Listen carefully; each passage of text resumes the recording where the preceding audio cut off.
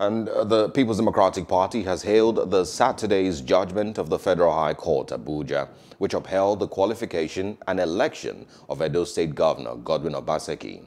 The party, in a statement by its National Publicity Secretary, Kola Ologbondiyan, described the verdict of the court as a triumph of justice, a victory for democracy, and a seal on Obaseki's landslide victory as a clear choice of the people. Ologbondiyan commended the judiciary for upholding justice on the case. He urged Obaseki to continue in his selfless service to the people, for which the party and its elected and appointed public office holders were known across the country for and beyond. Hello, hope you enjoyed the news. Please do subscribe to our YouTube channel and don't forget to hit the notification button so you get notified about fresh news updates.